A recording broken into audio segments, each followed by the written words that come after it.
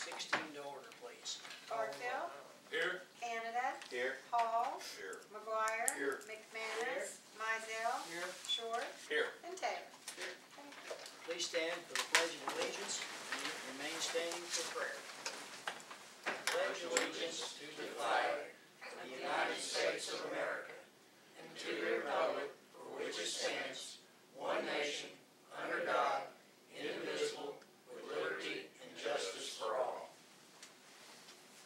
Heavenly Father, we come tonight especially thanking for this council, dear Heavenly Father.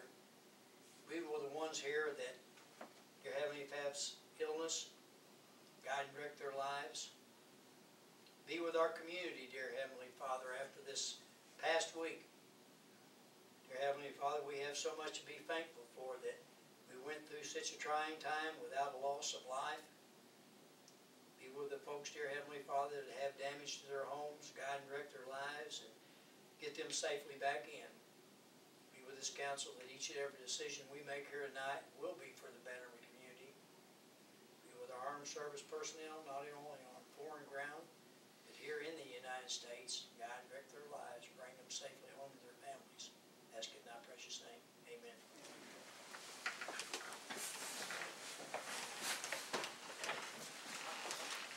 Need a motion to approve the minutes of the six twenty-seven sixteen meeting. I'll make a motion. Moved by Mr. Hall. Second by Mr. McManus. Call roll, please. Barfield. Yes. Canada. Yes. Hall. Yes. McGuire. Yes. McManus. Yes. Mizell. Yes. Short. Yes. And Taylor. Yes. Thank you. Citizens request, I think all we have out there is just a family member or so. Uh, Thanks for thin. I'm gonna be a citizen. All right, I wanna thank the guys and the crew, the volunteers and the crews that come in, and the mayor on a fine job on this little escapade we had. I'll tell you what, Y'all- y'all several good people job. called it less than, this is some different names. I know, I, We appreciate that, Mr. McManus. I agree with that. Also, I've had people to call, I know I've had people to stop by. It was very, very good, very promising. And thank you all very, very much. Yes, I did. Extreme circumstances. Well, we, uh, you know, uh, I guess, I, I know you're not supposed to get better at something like that, but if, if we can, if we continue, you know, to have all the emergencies and the, uh, uh, life-altering events, uh, we're getting pretty good at it. Well, check, uh, practice makes perfect, you We're, know. we're getting, we're You're getting doing pretty good You've been through them all. uh, actually, uh, it's, it, we're still kind of talking about it, stuff like that. Uh, Wednesday night, when, uh, we actually went out the first time, and actually, uh, you know, there wasn't a whole lot of damage up, up in here, and I, I'd walked uptown, and there was an awning and stuff like that, but not much damage, really. Very fortunate up there. Awning, uh, flew off, tore down three of our decorator lamp poles and, uh, and things like that, but I thought, well, you know, maybe we missed that bullet. Of course, we start, we was getting calls just, and then when I got down east end part of the Metropolis. I just could not believe in my own mind, I thought, goodness, you know, we won't never get this thing put back together.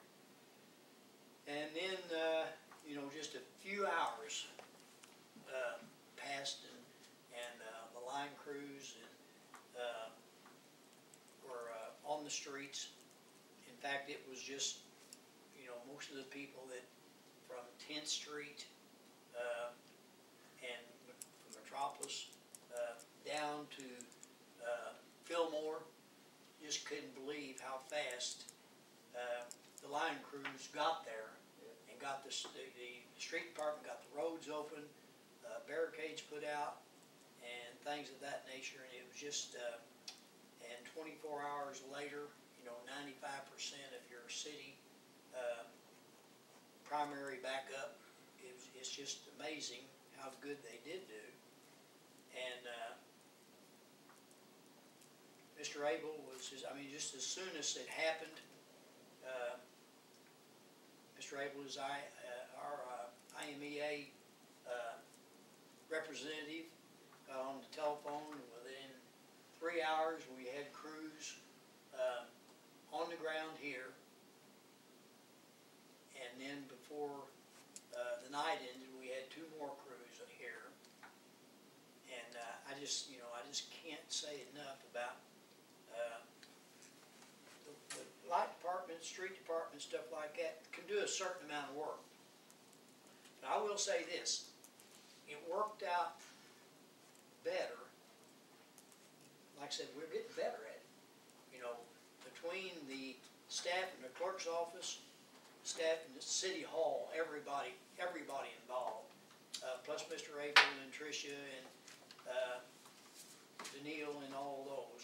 We actually started compiling the list, and I'm not gonna, s- Mr. Abel wants to go over that, so he is the, uh, I guess he's the, uh, I don't know what he is exactly when it comes to that. He, uh, we're not gonna, s- we're not gonna uh, steal his thunder, No, that's all right. cause he has prepared a, uh, a very, very nice, thing. Some of the special people that we wanna thank, Harris. I mean, Harris is always willing to step up to the, to the plate. They actually furnish places for the, uh, out-of-town crews to, uh, spend the night.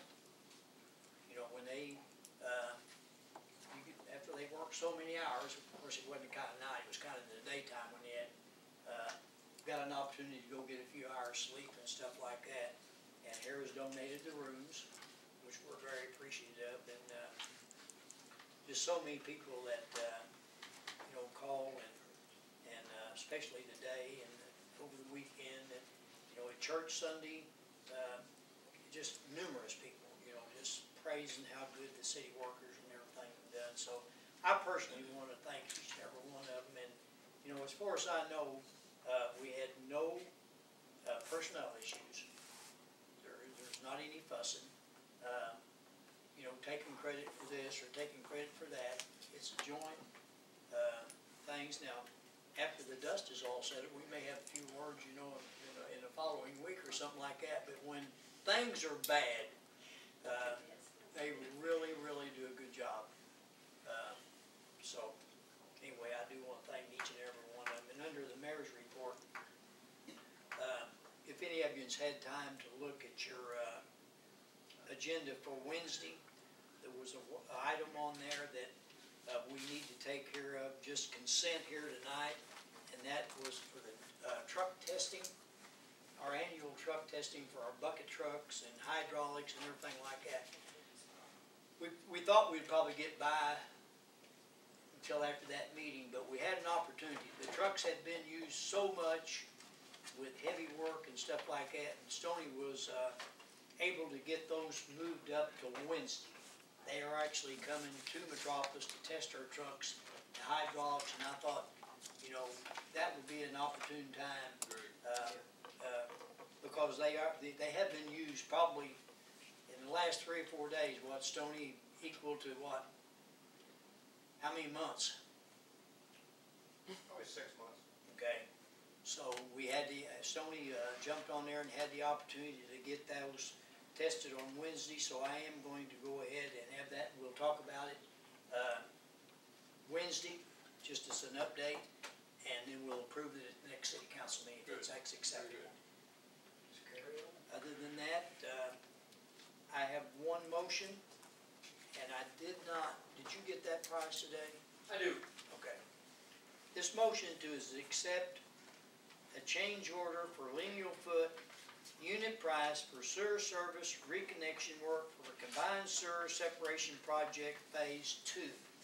What that amounts to is, as you know, we got maps, uh, of the, uh, services and things like that, but, uh, we don't have maps to go back long enough and, uh, utilities put in that we don't know about they put them in themselves and whatever. So there's always a certain amount of sewer lines and, uh, water lines and whatever, that when you get to ready to, uh, put them back in, or accidentally we, we hit them or, uh, so far, they've done real well, uh, but we found a couple of situations like, uh, example, right behind, um, the, uh,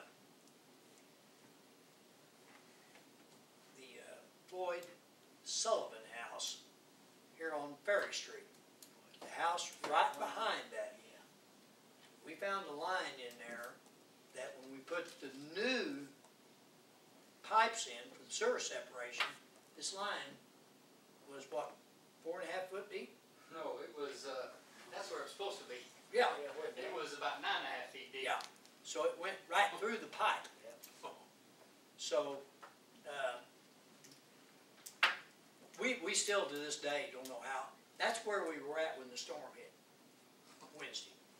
And, uh, uh, so rather than to try to redo all that, we're gonna bring the, the, the person's service out of the back of the property, down the alley on our right of way and hook into the manhole right there on Ferry. Be a single service. But what we're looking for is, for the ones that, they- that were here when we had the, uh, Third Street water line, uh, put in, Jim Beatman was actually the contractor at that time. Uh, we worked out a agreement with, with Jim on, uh, on-the-job preparation. Like if they hit something that, uh, needs five foot of new line run. Rather than try to get the, uh, street department, the water department, whatever coordinated to get that done at that time, where they're not standing around waiting on each other. Uh, Bill is actually, uh, willing to go ahead and do that for a, a price on the lineal foot. And go ahead, his men will do it, it'll be done right there, right, we're, not gonna be waiting on him, he's not gonna be waiting on us, but I don't know what that price is yet. We talked about forty dollars a linear foot. For some of the more complicated. He said he'd like to say up to forty dollars a linear foot. Or less. So that's what I'll put on the paperwork, and, uh, there's things that come into consideration about the depth, the linear backfill, how much gravel, so that's worst case scenario. Okay. When it's fifteen foot in the ground, we gotta backfill it with rock and, uh, make a connection on both ends. That's gonna be forty dollars a linear foot. That's what we're looking at for the, the, what, the service that we mentioned. We've already reconnected five different services that took a little bit of creative thinking to get them back, uh, connected to the main. So I'd like to apply that same linear foot, uh, to each of the ones that we've done thus far and the ones that we're gonna foresee in the future, because we're only, I don't know, eight percent done with the project and We'll have more. there's, there's gonna be more. Uh, We, we tried to plan around the best we could, but we only know where the main runs and where the clean out is on the house. We don't have any records of what it does in between. And sometimes the clean out doesn't mean a darn thing, because we've been chasing them and they don't end up where they're, so. We, we don't, we, we, for the life of us, we can't figure out how these people sort of worked in the first place. I mean, that deep. It was running dead flat for forty feet and even went a little bit uphill to reconnect to the main.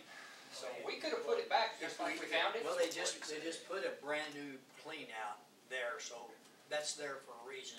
Had we not gone through the alley and come up the, we would have to put a pump station on that right there for that one service, which, you know what, you know what kind of problems that causes and stuff like that, keeping up with them and stuff like that, so it is my recommendation, if it was, um, Bill is, is very easy to work with. I, I think he's as honest as the day is long. Uh, he, I think he is a man of his word. Uh, my recommendation would be for, uh, to let him approve, to- for the council to approve that.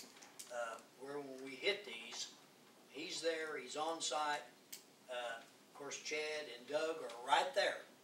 So they're going to be working alongside Bill, uh, and they're gonna keep track of what goes on and stuff like that, that will come in as a bill. I'll make the motion, we accept the change order up to forty dollars a linear foot. I'll second. Now, this wasn't, uh, part of the six point two million dollar project, No. this is They- an they- additional project now? Well, Well, it's an additional fix, in other words, if they have a sewer line, it takes six foot, Well, I mean, didn't we anticipate that from the first project? no. We didn't have that same problem in the first one, cause I remember voting on something like that. Well, any, I'll let Chad kinda explain that. Well, the first project, we had different depths. We were a little bit deeper across town. We did connect, uh, we, there was a large number of change orders on the first project. Sure, That's what I'm saying. And we,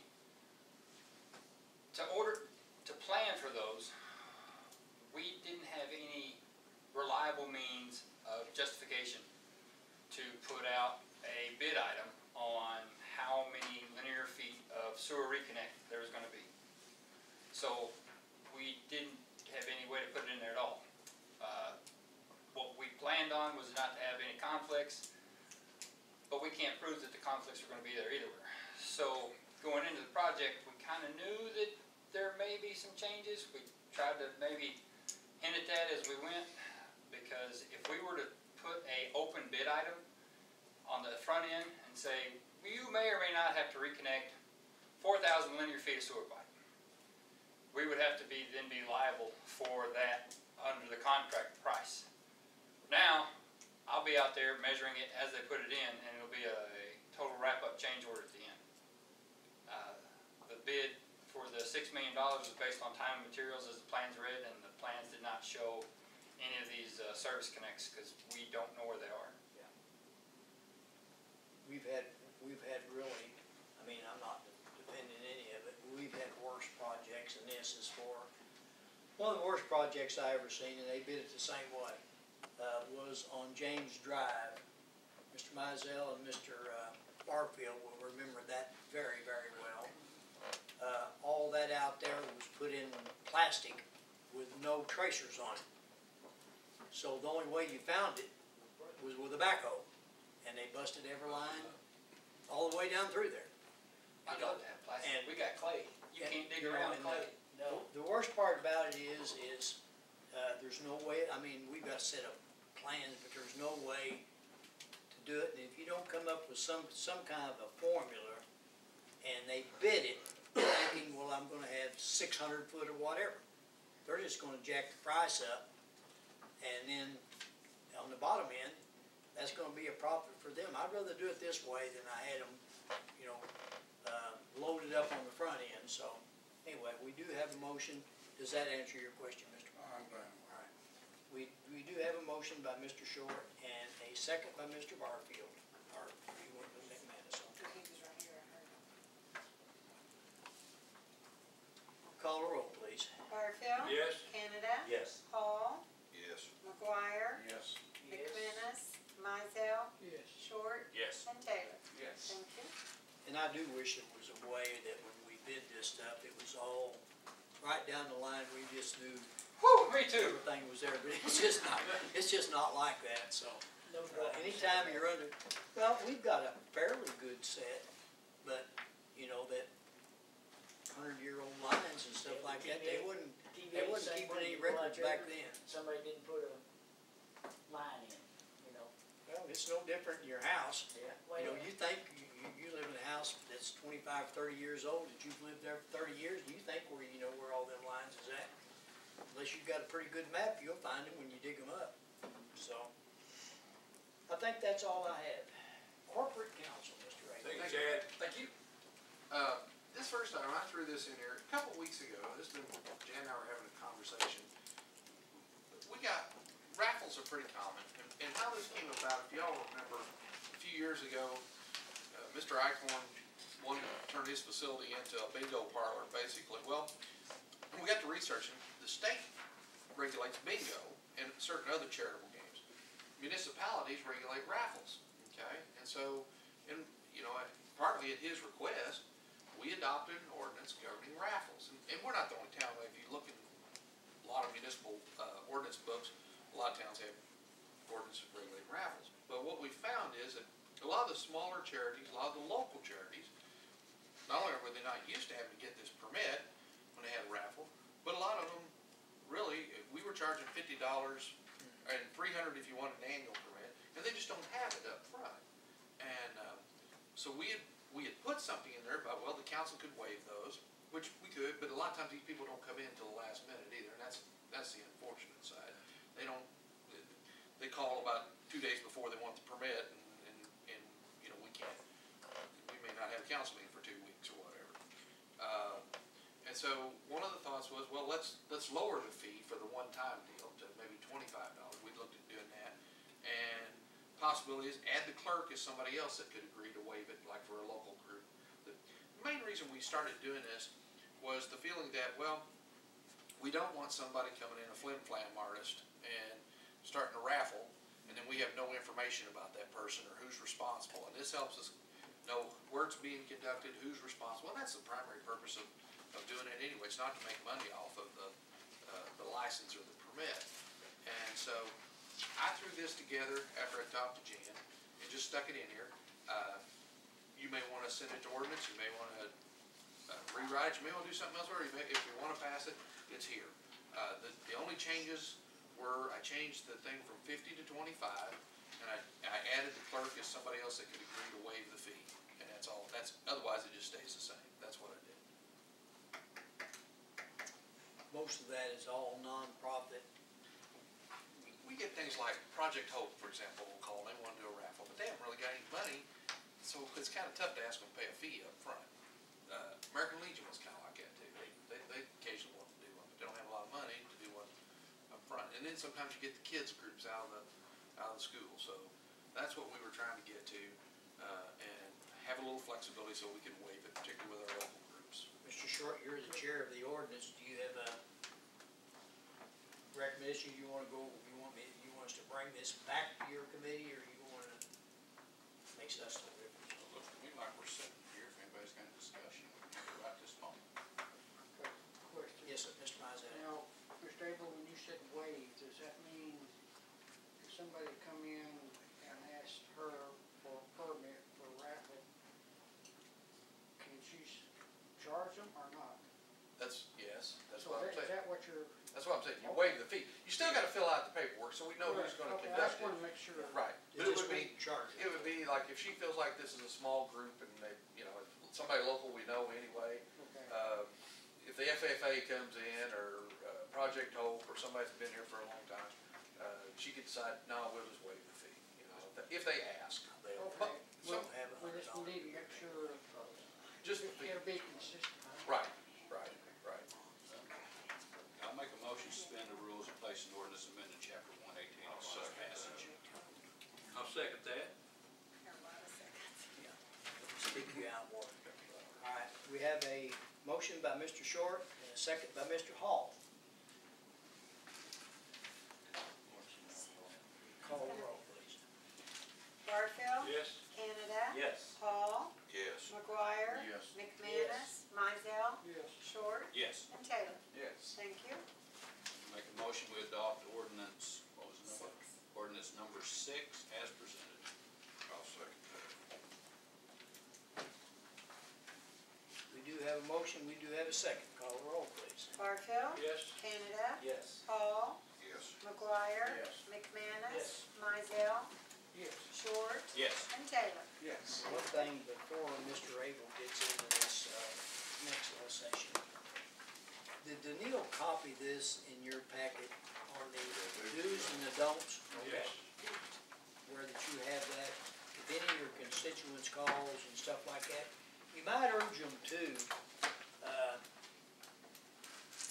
on the, uh, if anybody calls you, there is a list in the clerk's office, there is a list, in the mayor's office of everybody that has a permit to cut trees. Now, we made it easy for them, you know, all you've gotta do is get a permit, we're not asking for a payment of that permit, just got, doesn't cost you a dime. And for all the tree trimmers and things of that in the city that's coming in to help our residents, we're waiving all dump fees also. So, uh, they're, they're able to cut it, don't cost them anything, you know, for the permits.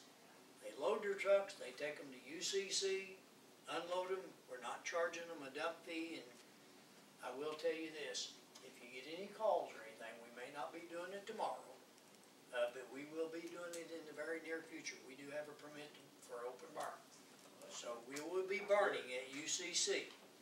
So, uh, just, uh, if you, if you see smoke, uh, don't worry, you know, we're- not burning anything down real bad, we're just, but we are gonna wait a few days to let the, uh, the, uh, green, get a little drier where it's not quite as, as bad, but, we will be doing it. If you wanna see a pile of timber right now, just go by the UCC plant, it looks like Mount Everest out there right now, so You're having a wedding roast, don't you?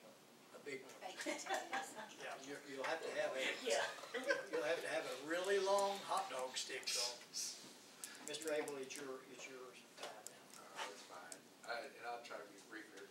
Um, I, I put this on here, there were a few things I wanted to talk about, about our storm response. Uh, I call it the highs and the lows.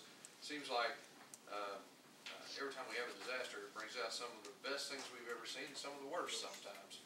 Uh, But I, I wanted to make sure that people were aware, and you guys are aware, following our ice storm in two thousand nine, we actually sat down and developed an emergency response plan for things like this. It's a written plan, of course, Mr. Davis has refined it multiple times, along with input from people like the chief, the electric department, uh, the police department, and others. And in fact, now we're at the point where we're having quarterly meetings and we're starting to practice on these things. The mayor says you get better at practice, well, we actually are practicing on, on handling these. Uh, But those plans call for a very orderly response to any kind of emergency. And safety is always our top priority. Safety not only for our residents, but safety for our workers that are out there responding.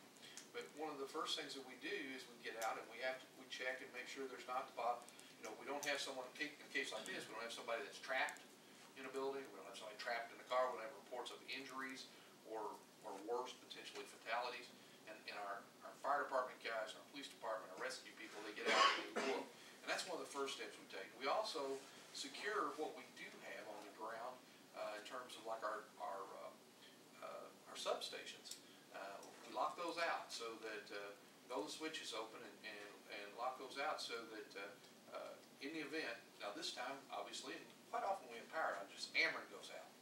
But we don't want Ameren coming back on, and we got people on the ground working and our switches are closed in. So we, we throw all that out and we make sure before anything gets put back on, everything's clear, everything's safe, everybody knows what's going on. We, we, we sometimes communicate and double communicate and triple communicate. Um, uh, we do, after we've made this effort to, uh, to make sure everything's safe, we've checked on people that might be hurt, or if there were any injuries, then we, then we start sort of our assessment, and that's going on too all the time. Where did we get hit? What got taken out? What's been damaged? What do we need to do? What's the most, and, and we start, start fulfilling the plan. And, uh, uh, when- it comes to electric, um, you hear us talk all the time about primary, you hear us talk about, uh, circuits. And, uh, we have a number of circuits. We also have what we call a tie line, and the tie line is a big line that just, does just that. Ties the, what we call the, uh, used to be called the east sub, the one behind Southgate, to what is the south sub here. So we have the ability, when we get power through one of them, through that tie line, to go through the other and feed, back feed, if you will. But Customarily, this one might feed certain circuits, and that one might feed certain circuits. But with the combination of the tie line, we have the ability, if we got power to one of them, to feed all our circuits eventually. Um, The, uh, um, and so we, we begin that process of assessing, we begin that process of looking at what we might be able to do. And the goal is to, obviously, we have to get that primary back up. We have to get that tie line clear. The backbone. We can't, it doesn't make any sense to come out to your house and put your service line back up, or come to your neighborhood and run this secondary line back up that's gonna serve three or four houses or five houses, if the backbone's not up, because the power's not gonna get there, okay? Um, and, uh, so, when people wonder what are they doing at first, well, first, like I say, they're, they're assessing, and that assessment goes on, well, this time it went on all night, because Tricia and I got to participate in it. Uh, she and Verbal and I drove the, drove all the circuits, uh, and looking for obstructions, looking for things that were down, things that had to be put back before we could energize that circuit. I was with them for a while, my nerves wouldn't last. Well, we- if you can imagine driving down the street with verbal hanging out one window, me out the other shining flashlight, and you don't know where the car is going. Yeah. Uh, and we know because the police stopped her at one point because, uh, she ran a stoplight. But, uh, but anyway, they, they, uh, they were kind of forgiving since she was trying to get the power back on, but, uh, but anyway, that's, that's part of the process, and, it's not just electric folks, it's street folks, it's water folks, it's an entire team. Clearing streets, clearing alleys, clearing areas where the brush is taking over the lines and stuff because it's falling on them. And, uh, getting stuff out of the way so that work crews can get in. Um, And then, once we get it clear, once we get it reassembled, um, one at a time, as we, as we determine it's safe and we've gone out and we've looked at everything, then we begin to bring them back up. And the focus is always on getting those things up first that we know are safe and that will serve the most people that we can safely do at one time. Um, As a consequence, it doesn't mean that every disaster, this, this ward or this street or whatever, will be up first. Uh, it all depends on where the damage is and what we can, what we can bring back safely first. Um, and again, the goal is helping the most number of people. The, the hard part sometimes for people to realize is, well, my neighbor's got power and I don't. Well, very well could be that your neighbor's on a different circuit than you are, and that happens. I mean, there are streets, there are blocks, it's, yeah, and it goes odd directions sometimes, and, and you, and you wonder, well, why has he got it? Well, he's on a different circuit, okay? Um, the, uh, uh, but we have to make sure it's all clear before we throw it back in. Throwing back in those reclosers, uh, is an experience, as, as these guys taught me, uh, last week, uh, standing inside that, that substation, they throw a recloser in, uh, it- it'll make you, you, you wonder if you need to go home and change clothes sometimes. It's a little loud, it's a jolt in there too. Um, but, uh, anyway, um, we do that, and, and like I said, this clearing is going on constantly. And then eventually, as a part of the plan, once we've got everything restored, and like I said, we put the backbone up, then we begin to put other primary up, then we put secondary up, and then we work on service lines. And, and so it narrows it down, we get the bulk of it done, then we get a little more done, then finally we get down to a few isolated parts that we have, maybe are a little more difficult, we get those put up. Um, You know, I- I'm proud to say, with the street department, the water department, and electric department, all the staff working together, we had ninety-five percent of the power back on by about nine thirty on Thursday morning. And then we'd lost it all as of right after the storm. Uh, We had hundred percent up by about five thirty, six o'clock on Friday. Uh, We filled in all the pockets here and there, and we did it systematically, and that's a new thing a little bit for us. Um, We utilized a number of people to gather these call-ins, which are very helpful. Uh, We document these call-ins, we put them in a spreadsheet, and then we begin to organize them by territories and areas. And then we would, as we would break, uh, Stony would have these territories assigned to various work groups. And there'd be a street group that needs to come along and help them clear if need be. There'd be his guys that are putting this stuff back up. Um, and then when we break again, we come back together and figure out, okay, check off what we got done and give that back to the communication people that are sitting here taking the call so they can tell, hey, we're about to your neighborhood, or no, here's where we're at, but you're still, you're coming up on the list, and, and we kept these lists available. And, we're getting better at that, that technology is gonna help. Um, the, uh, uh, but it all came together because of the teamwork, I mean, it wasn't just electric, it wasn't just water or sewer or street, it was everybody. No, across classifications, that was what I think made this really work. Um, the, uh, uh, and a lot of them worked a lot of hours, some of them worked 39, 40 hours in a row. Uh, and then turn around, come back, work another fourteen or fifteen the next day, after they finally did get a little sleep. Um, the, uh, we used, like I say, as Mayor said, we used all our administrative staff to fill in gaps, and, and we found some important places that they can all play a role.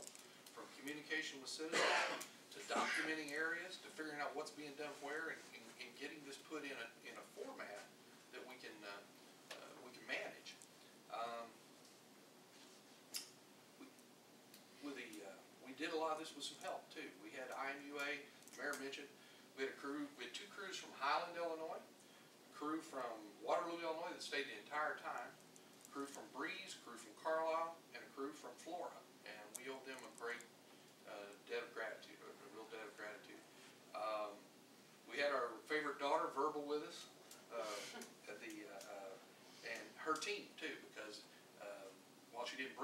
bring she called on guys that are, that are substation specialists to make sure when we were taking things off and taking things back on, that we were doing it in the right sequence and all, uh, so we didn't have any problems.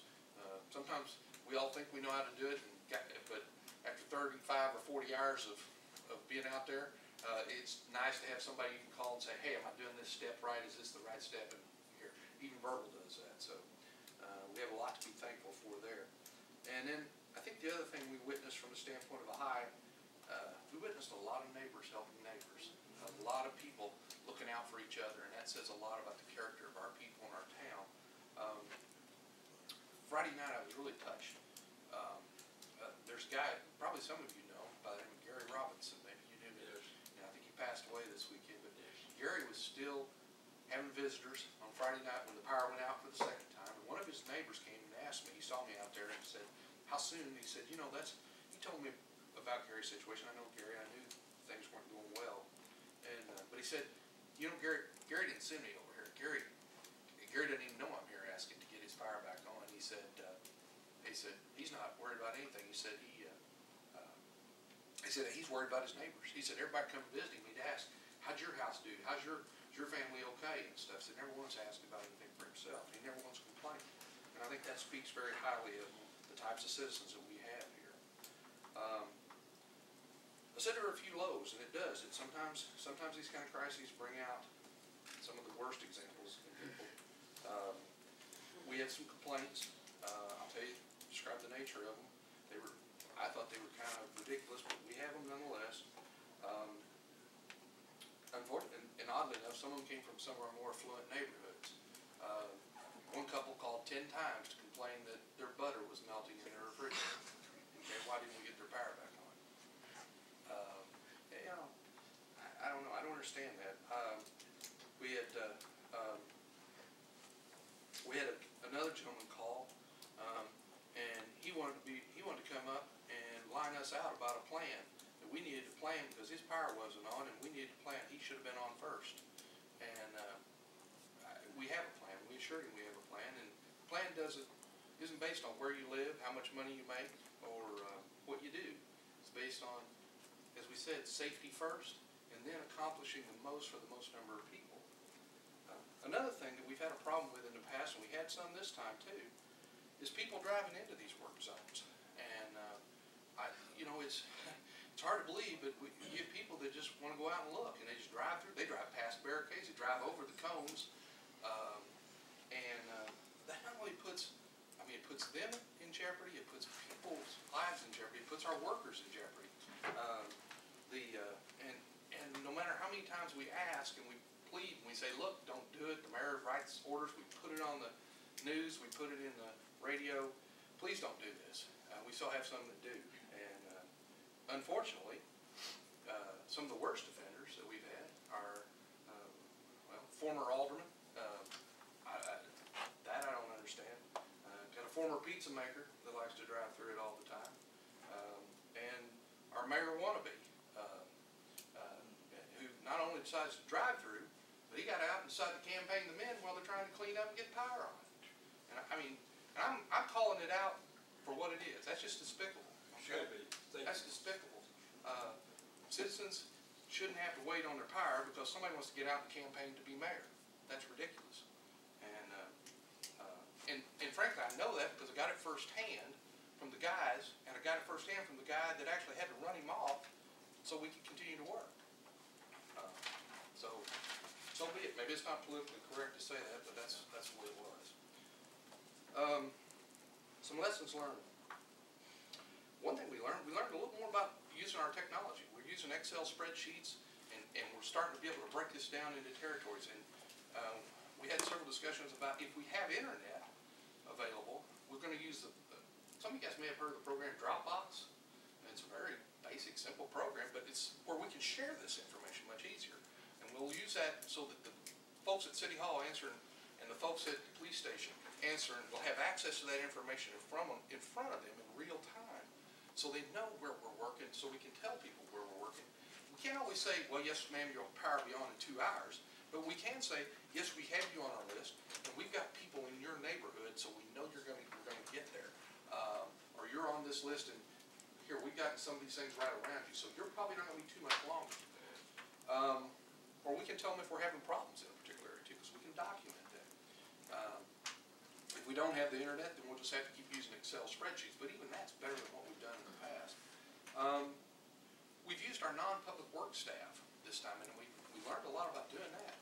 Uh, there's a lot of places they can fill in, that, that way we don't have to take our public works guys and have them out here maybe doing as much documentation. They just keep working. We'll get somebody that's writing down what's going on, and, and, uh, we'll get them in there and bring that information back to us, and that again keeps our public informed. Um, and then I think the last thing is, we're gonna have to develop it, we're gonna have to have, a- as we do these exercises and workshops, we're gonna have to address this issue of how do we control some of these work sites better? How do we control our traffic, our traffic control a little better? Uh, maybe we've gotta use more physical barriers. Um, I know, the, the one instance I witnessed, the mayor and I went down to put barricades down by Chuck's house because everybody kept driving down through. Well, that's where the Ameren guys were. Well, that's the High Line. We gotta get the High Line back. I mean, that's what we need, and the faster we can get that High Line back, the easier it is to get people on and keep them on, because we can balance our two substations and all. Uh, People wanna drive right through that. I mean, there were, and I don't know why, there's fifteen to twenty bucket trucks down there and thirty guys rumbling around. They can't even back out and get the poles out because we got people driving through there. And they want to drive through and past the cones and over the cones and stuff. Uh, Now Chuck's a police officer. He, he offered to shoot anybody that we needed, but, uh, uh, I'm just kidding. And In one light of of- bazookas there. Yeah, but, uh, but seriously, we are gonna have, that's something we are gonna have to address. Um, it may take some, tougher ordinances and penalty I provisions. think, I think eventually That's what it's gonna come to, I think you're gonna Good have point. police, police officers on site. And if they're in restricted areas and they're driving around barricades, I think you give them a ticket. I, I know they did that in Brookport, uh, but they were able to close off Brookport a little easier. It's easy, you It's had a little one in, one out. We, we, we, we don't have that luxury, but we're gonna have can, to work on that, because that, Maria can attest to that. that was something early on, at least, in the first several hours, that we had, it was dangerous. I know even, even, I think it was either, it was Thursday, yeah, it was Thursday evening. Um, I went to drop some water off and stuff with the work crews, and there was a lady that pulled in there, and when I walked past, she said, uh, she looked at me and I, and said, uh, I guess I shouldn't be here, should I? I said, well, ma'am, if you have to ask that, probably not. She said, well, I just came over to visit, and I said, but ma'am, you're driving into this work zone. Well, yeah. And I said, and you see those people out there that are sitting outside that are hot and haven't had power for now twenty-four hours? They'd really appreciate if they got power back. And then she drove off, but it was, that's, that's the kind of thing we gotta work on. Um, So, anyway, enough said. We, we did learn some lessons. We're gonna keep getting better at it. Gosh, I hope we don't have any more anytime soon. Uh, uh, We're about to decide we're about too old for this, most of us. Uh, The, uh, uh, uh, anyway, the last thing I was gonna head on my list, I've talked quite a bit tonight, last thing I got on my list, three things on the energy update. I gave you guys a, uh, thing called the Muni Line or whatever, uh, publication in here, and there's about three things in this, I hope you take the time to read. One thing I was gonna tell you about, we, the energy efficiency program, and I'll mention it again Wednesday, is back, I'm gonna get you, everybody an application that we have now. There's gonna be a series of applications, but the one we have is on the lighting, and I know in the past, a lot of you have directed people to us with lighting projects, get you the new application. We do have about twenty thousand dollars available to us between, to spend between now and next April. So if you've got people that are interested, may not be quite as generous as in the past, but still gonna be a good program, so. Uh, Likewise, the same thing, you can tell people we still have money for recycle my fridge, somebody's got an old fridge, they want fifty bucks for it. We can give them a number, they call, they arrange an appointment, somebody comes and picks it, as long as it's running, they'll pick it up and they'll send you a Visa card for fifty dollars. And, uh, uh, energy markets, there's a really good article in here, um, about, and it explains in very good terms, what's wrong in Illinois with our energy markets. Um, Suggest you read it. And finally, uh, there's some things in here about safety and OSHA, some changes that are coming our way, we have to follow them too, it has to do with our record keeping and accountability. Uh, and then there's lastly a little art, little chart in there, I never realized, how much water we're all supposed to drink when it's hot outside and we work outside, so, uh, uh, it's amazing how much water. I tried that, I passed out from all the water. I think you drown if you drink as much as, as it says in there, but anyway. That's all I have. Sorry for taking so long. Well, to give you, give you an example, Maria and uh, Linda, uptown, really the only problem we had in the uptown district was one awning from the old Chamber of Commerce. Ripped off, come across the street, tore down them three light poles, damaged four of my flowers too, wrong with it, but, uh, Blaine come and picked them up today to replace them flowers. Uh, and, uh, we had a backhoe, the awning actually struck Tim Lawson's old drugstore building, knocked the windows out.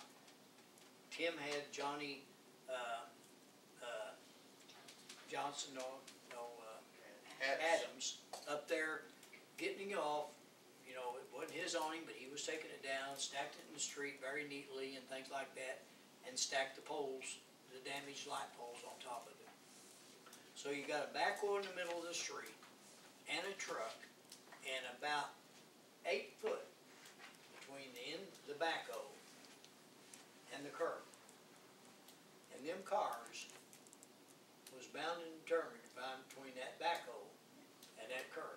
I'm standing out in the middle of the street, waving my hands, trying to direct them, you know, before they got there. So this little vehicle popped up down there and I thought, can they, don't they know them hand signals and stuff like that? And he started walking down, and it was Maria and them taking pictures, so I just went back the other way. I didn't want any bad publicity, stuff like that.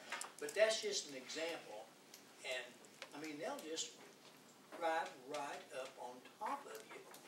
And, uh, you know, it's just, it's just very, uh, it's, it's dangerous. I mean, the backhoe guy can't see that well, and if he doesn't have somebody out there, and if, uh, you know, so, anyway, probably, I think that probably was our single most problem, especially when it's dark. You know, out there in the middle of the night and stuff like that. And, uh, it's just, you know, those guys can't see you and, uh, you know, so, uh, we're gonna have to figure out a little, little better something there that, uh, to control that traffic just a little bit better. But like I said, job well done to anybody. Does anybody else have anything they wanna say before we move on? Next item, committee reports. Un- Unfortunately, we haven't had any committees, uh, The Water Line Street Committee will meet yeah, we will have Wednesday at one one coming o'clock. up Wednesday. Yes. And we have, uh, quite a few items on that agenda, so I encourage everybody to be here. We're gonna have some updates on the, uh, uh, sewer separation, we're gonna have some updates on the bar screen at the wastewater treatment plant. We're gonna have an update on the next phase of the revamp of the freshwater system at the filtration plant. So there is going to be some very good information there. Department heads, Stoney, Nothing at this time. Jason, I got nothing. Frank, I concur, I have nothing at this time. Tracy, you have, you have Who's anything? Tracy? For that, Chad, I think, doesn't have one, but, uh, old business. Mayor, did does Mr. Benbury ever come and talk with you? Miss, Miss Benberry did, Did did you work anything out? I with her? have, Okay. not definitely yet, I, and I, I wanna make sure they got, and I did make a call to one of the, uh, uh, contractors who are gonna try to get hold of him, and I gave her Mr. Pullen's number for the house behind there. And they're supposed to be getting back to me, you know. yeah, Thank you. yes, sir.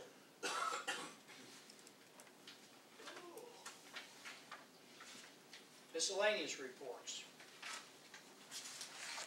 Financial, I want to revert back to the new business. I have two items, excuse me, and I want to welcome Mr. John Taylor to our chamber here, because I've known him many years, and I think he made a great recommendation. well, Mr. Barfield, you trained him. Yeah, well, so, you know, I've known him quite a while, he's a, a very good person, sir. Well, He you know- trained me, but not for this. Well, and, and, and, you know, John's, uh, Mr. Taylor's gonna be a great asset. You know, it's, it's been, it's been a good, it's, it's been a good for the new, but still again, it's, uh, you know, we're always, we're always, uh, you know, Mr. Carroll sat in that seat for many, many, many years and, and his knowledge and stuff will be missed and stuff like that, but we're moving to a new era and we're glad to have John on board. Thank you. Glad to be here. I have one other item, that's the, we will have a tourism meeting here tomorrow at eleven o'clock in these chambers. Yes. Thank you, Aaron. And I guess y'all did notice that the, uh, Welcome Center is open. And it's been well attended, that's for It has, it's full every night and every day.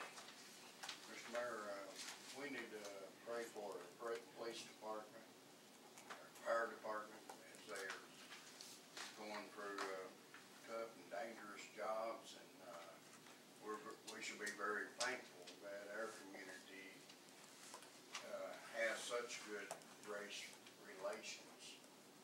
That we, and, uh, but they do, they're under a lot of stress right now. They are, I can't imagine, uh, really, you know, what they are going through. And it's not just police officers, I mean, it can be any, It'd be the anybody in firefighter. uniform. Yeah, Right, that's what I'm saying, firefighters and all. Amen. And, uh, They're all, we're, we're all in a, in a stressful, You might even put Alden in that situation too. yeah, well, I noticed today where they, they had some, uh, uh, in a city, not a city council, but it was in a, bailiffs. uh, a bailiff in a courthouse. Actually, two people or three people actually was killed. I hadn't heard that And, one. uh, Yeah. one in, serious condition. So we need to pray for them, so. But it's just people over five, five, me and Billy. Just goes over it. Shoot over, huh? Chief isn't here, but Chief uh, Morris is. I'm only five. Well, this. And I want you to know you're in there, our prayers. Yeah, same way. And, and Chuck is actually, you know, uh, an officer down at Karnak, so, Mhm. uh, And that's And- bad, because you're by you know, yourself. they don't, they don't know any, uh, perimeters and stuff like that, so anyway, uh, we, we, as Mr. McGuire said, we should be thankful that we live in a community like this, you know, where that, uh, uh, but stranger things have happened, so we all need to be conscious of what goes on and stuff like that, but, uh, financial report, payment of salaries, payroll and contract bills. Make a motion. Second. Moved by Mr. McGuire and Mr. McManus. Call the roll, please. Barfield. Yes. Canada. Yes. Hall. Yes. McGuire. Yes. Excuse me, McManus. Mizell. Yes. Short. Yes. And Taylor. Yes. Payment of miscellaneous bill. Moved by Mr. McManus, second by Mr. McGuire. Call the roll, please. Barfield. Yes. Canada. Yes. Hall. Yes. McGuire. Yes. McManus. Mizell. Yes. Short. Yes. And Taylor. Yes. Thank you. We, uh, we are not going to have a need for an executive session. We actually, uh, had to cancel the, uh, union, uh, bargaining, the collective bargaining. We had a meeting for Friday morning at nine. And, uh, we did, uh, cancel that and we are going to reschedule that. We have some dates I said, I do for sure. We're gonna mill file that. Their, their gonna be gone for about a month and a half. Yeah. Uh, what we're gonna do is, we're gonna do some back and forth. What I'd probably like to do is, if many of you, if you can be here Wednesday, and if Mr. Barfield isn't here, we'll probably have a closed session Wednesday. Sure. And I'll update you on where we're at. We're not miles apart, I don't think, at this point, but, uh, we, we need to, we need to at least get some, We're still in negotiation. but we are still negotiating. How we going on this? Uh, I drafted part of that last week before I got finished with, uh, got sidetracked a little, but we're, we'll be close. Well, and I will say, uh, as far as just, uh, I guess what you could classify as regular business, it wasn't much went on around here except storm control, uh, Wednesday night, uh, all day Thursday, uh, Thursday night, Friday night, uh, the, uh, street crew worked actually, uh, I will give you an update on that, street Stoney and his crew decided that they'd just as soon stay Friday night until everyone was hooked up. Every customer in the city of Metropolis that was capable of having power had power before the light department went home. that gave them Saturday off. Street department went home at six thirty, I believe, on Friday evening, and they chose to work half a day on Saturday. Now, what we're doing, if you get any calls, we talked about it all over the weekend, I talked to the street department guys, I, I talked to myself a lot about it. Uh, didn't get very good answers, but anyway, uh, decided that, you know, there's no need in making more people mad than you have to make mad. We, me, I, I admit it, I'm, I'm a kind of a creature of habit.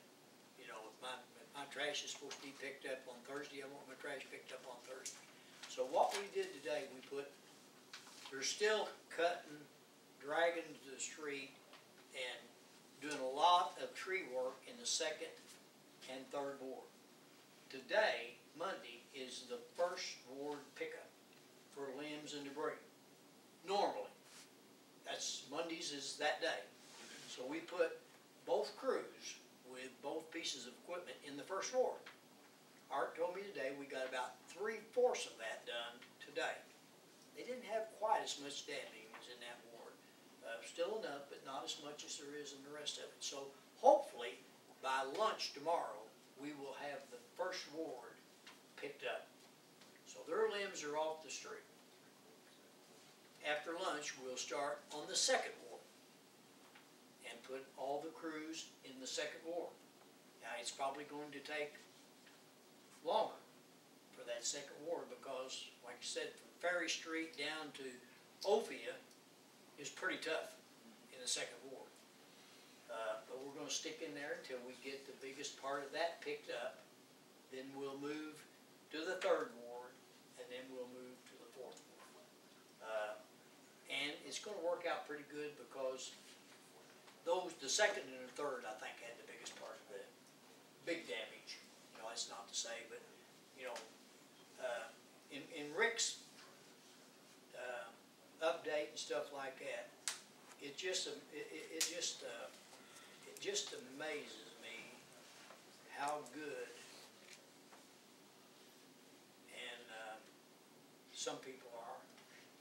You know, uh, you, you got maybe a, a, single mother or an elderly man or an elderly woman, doesn't matter what you live in, it, it doesn't matter. It, it's yours and it's your home. Doesn't matter whether it costs twelve thousand dollars or three hundred and twelve thousand, doesn't matter, that's their home. But we had people that had lived in mobile homes, that their mobile homes was completely destroyed. Now, it didn't blow them off, but it put trees plumb through 'em. Those people were thankful to be alive. That's right. I mean, they thanked the good Lord, nobody got hurt in their family. It, they, they couldn't even put a tarp over. I mean, there wasn't there anything there to put over. Across the street, you had somebody that lived in a moderate, uh, uh, home, you know, uh, not bad, not fancy, but it's home. That was out helping the lady across the street and their neighbors because they literally had no damage. Both sides was tore all to pieces, they had no damage. And like Mr. Abel said, then you got, uh, folks that had no damage to their homes and, and, uh, you know, that were just rude, you know, unthankful, uh, guys out there. One night, it rained three inches. That line crew and the street department crew did not miss one lick. They wasn't whining and crying because they was all wet, you know, they was up in them bucket trucks. And the fire department and the, and the police department's the same way, they're out there, uh, doing ever what it takes, but, you know, after an event like this, and I don't mean to be preaching, but I do mean to be preaching, we ought to all be down on our hands and knees thanking the good Lord, uh, that all alive and, and, um, the, the worldly goods and the material things can be replaced. Lives can't be replaced, nor, uh, you know, things that's said in, uh, in, uh, just meanness, you know, uh, that, that won't ever be taken back. I mean, that that'll stick with you for a long, long time. Yeah, like the one said down there, he said, he was telling us, other guy said, we was lucky, he said, no, you ain't lucky, you were blessed. Yeah, absolutely.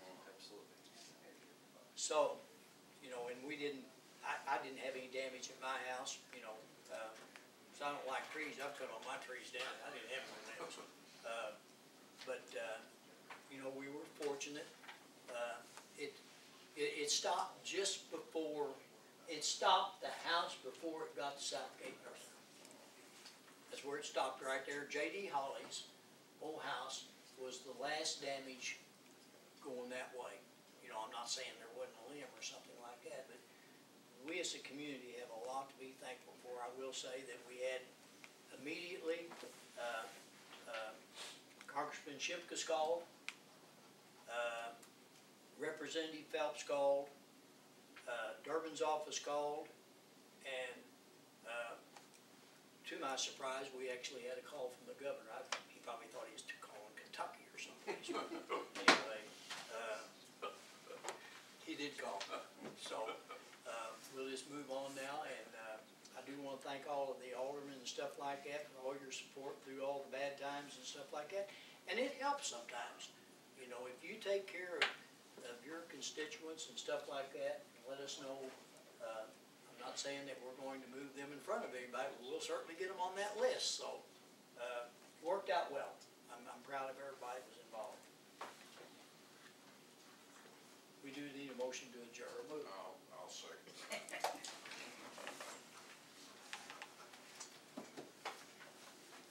Barfield. Yes. Canada. Yes. Paul. Yes. McGuire. Yes. McManus. Yes. Mizell.